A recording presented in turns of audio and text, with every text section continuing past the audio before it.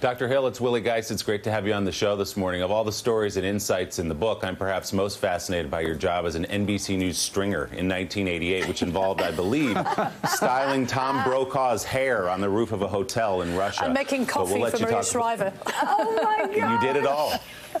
You did it all. actually. uh, uh, we can That's talk amazing. about, dig into some detail on that perhaps another time. But I'm interested in your thoughts as someone on the inside who really knows better than anybody about this question that hovered over the Trump administration for four years, which was what did Vladimir Putin have on Donald Trump that made him so deferential to Vladimir Putin, that made him never want to cross him publicly or even privately, to have Donald Trump so enthralled with Vladimir Putin? And you've said, really, there's nothing specific. There's no tape, not a real estate deal but just the fragility of his ego. Could you flesh that out a little bit? And was there anything that Putin had on Donald Trump?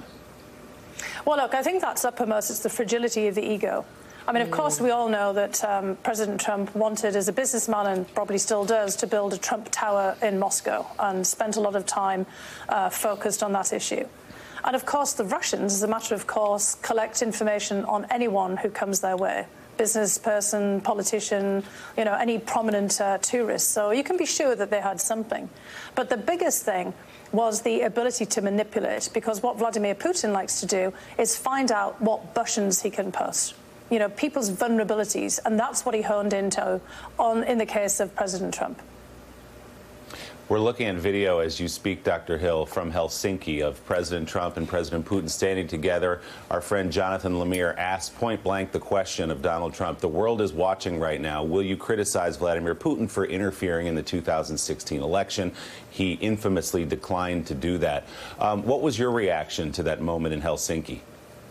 Well, I was actually sitting right in front of Jonathan, and Jonathan features in the book because I recount this episode.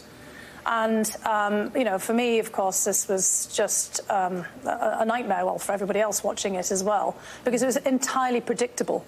But from the perspective of myself and others who were working um, in the NSC at the time, we knew that President Trump did not want to admit that the um, Russians had played any kind of role in the election because it would be tantamount to saying that he hadn't been elected legitimately, that he was an illegitimate president. He didn't want to give any credence you know, to that kind of idea. And he also didn't want to challenge Putin.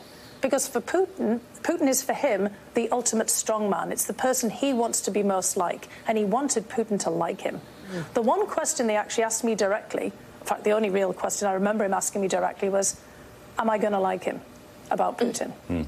You mentioned the idea of challenge.